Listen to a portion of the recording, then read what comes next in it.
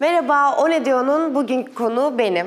Şimdi sizden gelen soruları yanıtlayacağım. Başlıyorum. Başlarken de basayım. Bize en sinirli bakışını atabilir misin? En sinirli bakışımı.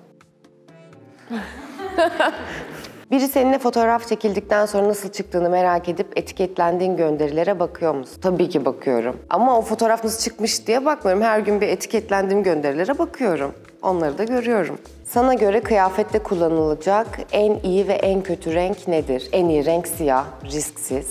En kötü renk bilmem. Ben koyu toprak renklerini sevmiyorum. Kendime yakıştırmıyorum. O benim için. İki sezondur doktor rolü oynuyorsun. Şimdi karşına bir hasta gelse az çok teşhis koyabilir misin? Cevabım bu bakışım. Yani.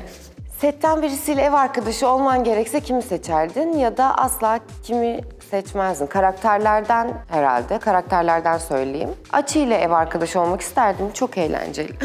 kimi seçmezdim? Tanju'yu seçmezdim, sıkıcı. Ne yapacağım evde Tanju'yla?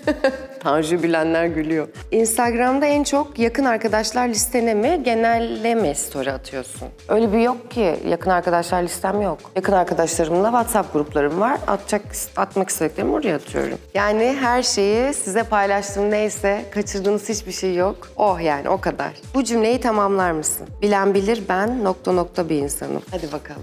Sevgi ne diyorsun? Bilen bilir ben direkt bir insanım. Bazen patavatsız. Onun kibarı direkt. Çekime gelmeden önce o ne diyor Instagram hesabından sorulara baktın mı? Doğruyu söyle. Tabii ki baktım. Niye yalan söyleyeyim? Ama çoktu. Ama bunların hepsi rastgele seçildi. Yani ben baktım da öyle neler soruluyor diye. bir de doğruyu söyle.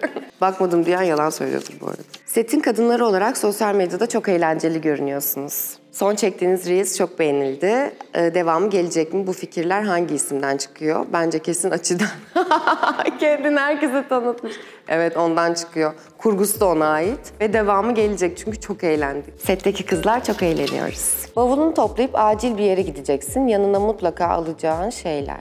Nereye gideceğim belli değil diye varsayıyorum. Diş fırçam, şarj aletim, bir de çamaşır suyu alırım herhalde pis bir yere gidersem. Öyle, öyle de bir huyum var işte yapacak bir şey yok. Çok mutlu olduğun bir anda üzgün olduğun bir sahneye girmen gerektiğinde bunu nasıl yapıyorsun? Zor oluyor mu? Ağlamak için üzgün bir şeyler düşünüyor musun? Çok mutlu olduğumda, yani üzgün bir sahneye gireceksen bunu bir gün öncesinden biliyorum zaten. Kendiliğinden hazırlanıyor o. O yüzden mutlu olsam da o başka bir şey ya. Öyle onu etkilemiyor. Yani baştan e, kanalize oluyorsun. Zaten programlamış oluyorsun teknik olarak kendini. Ağlamak için bazen üzgün bir şeyler düşünüyorum. Bazen birkaç parçam var şarkı. Onlarla kendimi yükseltiyorum. Bazen tekneye sığınıyoruz. Bazen sadece sahnenin akışına bırakıyorum. Sahneden sahneye değişiyor yani. Sevgilinin özel günleri önemsemesi ve kutlaması senin için önemli. önemli. Soru işareti. Sadece doğum günüm önemli ve onun doğum günü. Diğer özel günleri lütfen kutlamasın hatta. Çünkü ben de unutuyorum. Denklik olsun. Kutlarsa benim sevgilim olamaz zaten. Sevmiyorum öyle şeyleri. Yakın çevrenizin illallah ettiği bir huyunuz ya da takıntınız var mı? Yok. Ben çok tatlıyım. Hiç yoktur ya. Böyle yakın çevrem hani illallah etse yakın çevrem olmazdı. Nasıl?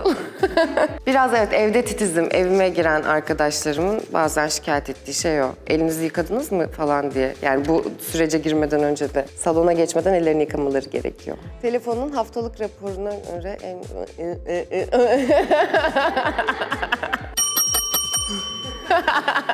En çok para harcadığın şey nedir? Aa, ben çok savurgan değilim ya, savruk değilim ama şey... Hmm, ay ne biliyor musunuz? Böyle mutfakta ben işte glutensiz, şekersiz falan besleniyorum. Öyle şeyleri yapıp denemeyi de çok seviyorum. Onların ham maddelerine çok para harcıyorum. Çünkü alıyorum, yapıyorum, atıyorum, tekrar yapıyorum. Setteki kızlarla gıybet grubunuz var mı? Tabii ki var. Hem de kaç tane. Onun olduğu, onun olduğu.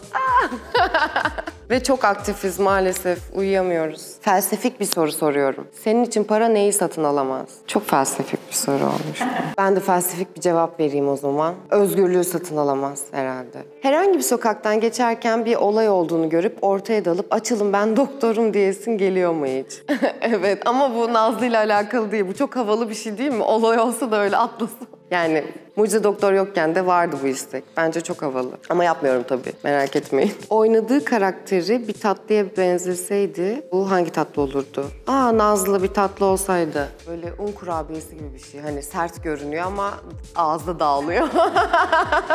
Çilekli un kurabiyesi ya da hani biraz da böyle şey ya. Uçuş uçuş. Hayalperest. Dizdeki karakterinle yani Nazlı'yla teşekkür ederim bu açıklamayı yaptığın için. Arkadaş olsaydınız arkadaşlığınız nasıl olurdu? Güzel olurdu ya. Nazlı makul bir kız. Sadece biraz fazla duygusal. O konuda galiba çatışırdık. Ama seviyorum Nazlı'yı. Bence bir kahve içilir. Tahammül edemediğim bir koku var mı? Evet, çikolata kokusunu da tahmin edemiyorum. Güzel bir şey söyleyeyim. Yani ya benim olacak ya da kokmasın. Aa, çok az kaldı. İlk hayranı olduğunuz ünlü isim kim? Hatırlamıyorum. Kendini bir emoji ile anlatacak olsan bu hangisi olurdu? Son zamanlarda şey olur herhalde. Kafası böyle patlamış olan var ya, Dumanlar çıkıyor. O. Yorgunum dostlar. Son üç ayını üç kelimeyle özetle. Üşümek, sıkılmak, sabır. Pandemi bizi yordu. Bitti sorular. Bugünlük de sonuna geldik. Haftaya tekrar görüşmek üzere değil mi? Teşekkür ederim sorular için. Görüşürüz.